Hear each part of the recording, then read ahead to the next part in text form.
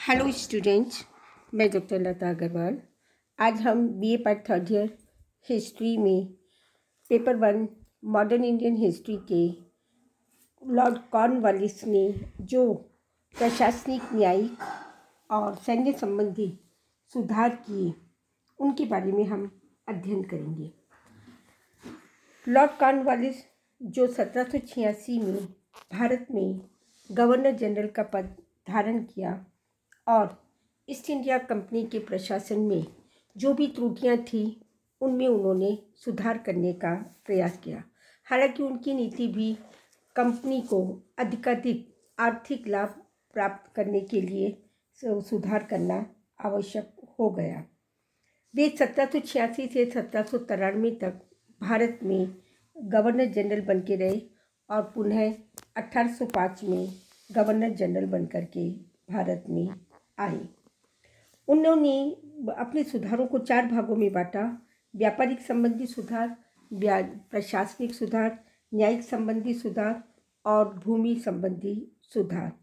प्रशासनिक सुधारों में उन्होंने कंपनी के अधिकारों के वेतन को में वृद्धि कर दी और कुछ ऐसे कार्य किए, कुछ अधिकारियों का ऐसे स्थानांतरण कर दिया जो भ्रष्ट अधिकारी थे। उन्होंने नियुक्ति प्रथा को बंद कर एक कार्यकुशल अधिकारियों की नियुक्ति की। भारत के 35 जिलों को घटाकर उसने 23 जिलों में कर दिया, बंगाल के क्षेत्र को सीमित कर दिया। पुलिस विभाग में महत्वपूर्ण परिवर्तन किए। छोटे छोटे इलाकों को को ज़िले को बांट दिया गया और साथ ही प्रति प्रति बीस मील के अंतर पर एक पुलिस थाना स्थापित किया। कॉर्नवालिस की यह यह नीति या यह सुधार सबसे महत्वपूर्ण और आगे भी इसको महत्ता दी गई। थाने के अंदर प्रत्येक थाने में एक दरोगा और एक सिपाही नियुक्त किए गए। दरोगा के ऊपर पुलिस अधीक्षक नियुक्त किया गया, जिसकी नियुक्ति ज़िले के अंग्रेज़ मजिस्ट्रेट द्वारा की जाती थी। अंग्रेज़ मजिस्ट्रेट को ज़िले में पुलिस के कार्य का निरीक्षण करने का उत्तरदायित्व सौंपा। कलकत्ता में पुलिस प्रशासन की देखरेख के लिए एक संचालक भी नियुक्त किया गया। जितने भी अधिकारी नियुक्त किए गए थे, वे सभी कॉर्नवालिस ने अंग्रेज़ अधिकारियों को नियुक्त किया और अंग्रेज़ अधिकारियों को ही स्वतंत्र रूप से प्रशासनिक कार्य करने के लिए नियुक्ति दी गई थी।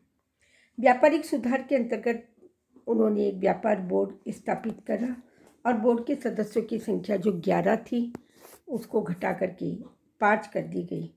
बोर्ड कलकत्ता के सर्वोच्च काउंसिल के अधीन कार्य करने के लिए कहा गया और व्यापारिक केंद्र पर जहाँ कंपनी का व्यापार होता था, वहाँ एक ब्रिटिश रेजिडेंट की नियुक्ति की गई, जिसका कार्य व्यापार को उचित ढंग से नियंत्रित करना तथा होने वाली आय पर नियंत्रण कर कर वृद्धि करना था।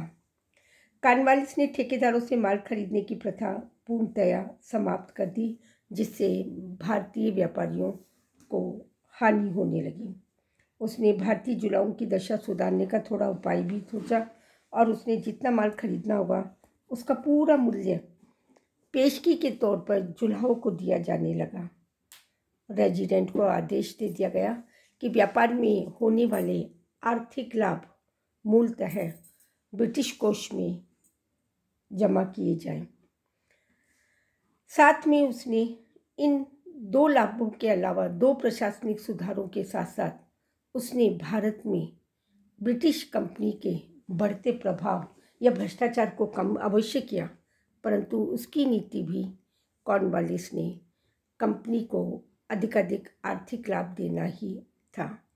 बच्चों, हम कल उसके भूमि संबंधी और न्यायिक सुधार संबंधी के बारे में अध्ययन करेंगे।